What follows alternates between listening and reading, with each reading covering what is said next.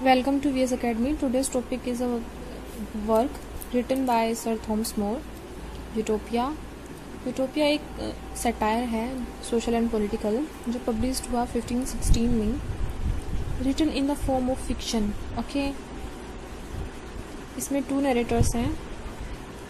Number one More himself and second Raphael Hythloday the title is Greek word Greek word से लिया गया title वाला word which means no place More 1478 में London में जन्म हुआ, एक प्रोलिफिक राइटर हैं।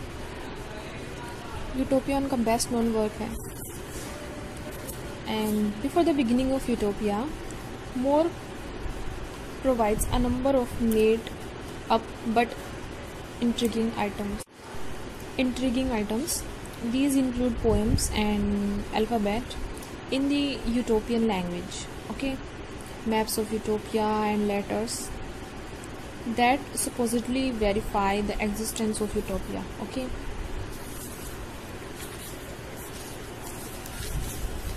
book one socio political debate होती है between More and Hythloday and Giles okay जो हिटलडे होता है वह डिस्क्राइब करता है एक डिस्कशन होता है a discussion he had with a variety of real and made up man at a dinner party जिसे होस्ट किया गया है by the archbishop of Canterbury okay and at the end of the book Hitler ने offer करता है gathered group को कि बताए about amazing culture and politics of Utopia okay क्या है बुक वन में सोशियो पोलिटिकल डिबेट होती है, जिसमें More Hitler and Giles discuss करते हैं okay book two in this book there is focus of focus होता है जोग्राफी एंड जियोलॉजी पर of Utopia and there are 54 cities in Utopia All goods and lands are available to all. Okay. People slaves बनाए जाते थे, उन्हें कोई punishment नहीं दी जाती थी ओके अब जो गोल्ड होता है यूटोपिया में is there for use not as treasure but as a tool for controlling others कोई ट्रीजर नहीं समझा जाता गोल्ड को यहाँ पर बट एक टूल समझा जाता है जो कंट्रोल करता है अदर्स को. No money no one richer okay यहाँ पर क्या था? No money and no one richer enjoy करते हैं leisure activities like playing games और अटेंडिंग लेक्चर्स एग्रीकल्चर में वर्क्स करते हैं, खेती करते हैं। यूटोपियन सोसाइटी होती है जो Utopian city to city travel करती थी। बट मस्ट आस्क परमिशन बिना काम या किसी एम के घूमने की परमिशन नहीं थी।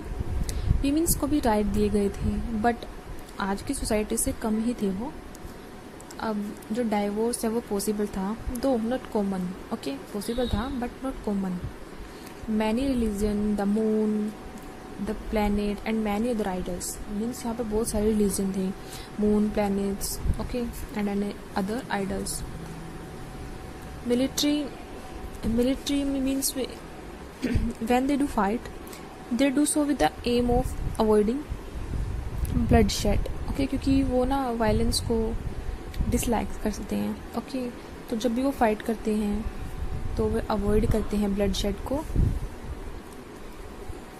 अब शादी से पहले सेक्स नहीं किया जाता था प्रोहिबिटेड था okay both means groom and bride are presented to one another naked शादी से पहले मीन्स देखते थे तो उनको नेक्ड देखा जाता था एक दूसरे के द्वारा ओके